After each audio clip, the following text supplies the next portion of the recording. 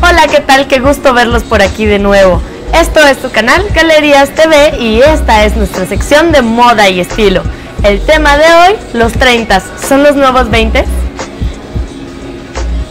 ¿Le has preguntado a tu mamá o papá qué hacían a tu edad? Probablemente la respuesta es que ya se habían casado y ya habías nacido.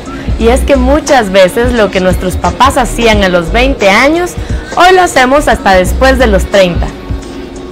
El posponer decisiones que consideramos muy importantes como casarnos, formar una familia o definir nuestro futuro profesional se observa desde hace mucho tiempo. Los tiempos cambiaron y se debe a que la expectativa de vida hoy es más alta, por lo que se retrasa el paso de la juventud a la adultez. Una persona de 30 años no necesariamente tiene que tener definido el resto de su vida, y es que al parecer los 30 son los nuevos 20. Anteriormente las mujeres tenían como única meta casarse, tener hijos, cuidar a la familia y dedicarse al hogar. Las generaciones de nuestras abuelas se casaban cuando tenían entre 17 y 21 años, porque así lo marcaba la sociedad. Y nuestras madres entre los 23 y los 28. En cambio, las nuevas generaciones no tienen problema en seguir solteras a esa edad. Son pocas las mujeres que deciden formar una familia a temprana edad. Hoy en día marcan tendencia a aquellas que prefieren estudiar, especializarse y por qué no viajar al extranjero buscando nuevas experiencias. No descartan el deseo de ser madres, sino que lo postergan para cuando estén realmente listas. Lo mismo ocurre con los hombres. Crecieron viendo a sus abuelos y a padres como sostén económico de la familia, con carreras profesionales definidas desde muy jóvenes mientras que ellos prefieren esperar para asumir esas responsabilidades.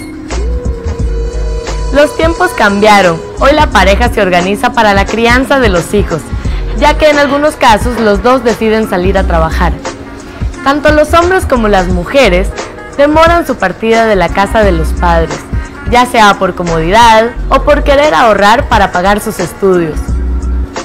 Sus objetivos a corto y mediano plazo son a nivel profesional, incluso aquellos que no estudian y se dedican a algo que los apasione, como la práctica de algún deporte. Otra manera de darnos cuenta de que las cosas han cambiado es en la forma de vestir. Es difícil distinguir entre una persona de 30 y una de 25 porque lucen de la misma forma. Seas hombre o mujer, te sientes igual de joven. Existe una firma española llamada Clean, que plasmó a través de sus tiendas la necesidad de la mujer de verse más joven. Vistas con trenzas, mini vestidos, accesorios y estampados infantiles, la mujer de hoy se ve y se siente menor.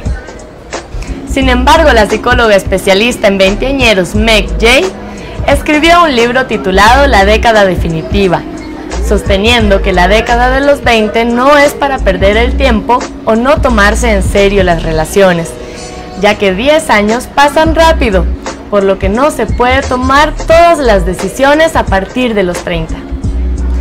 Podemos vernos más jóvenes y retrasar ciertas responsabilidades, pero no significa que evitemos empezar a comportarnos como los adultos que realmente somos.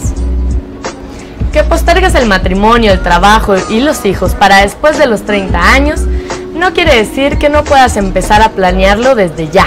Los 20 años puede ser el momento ideal para organizarte, para prepararte y elegir con calma qué es lo que quieres en tu vida para que en una década después puedas concretarlo sin ninguna presión.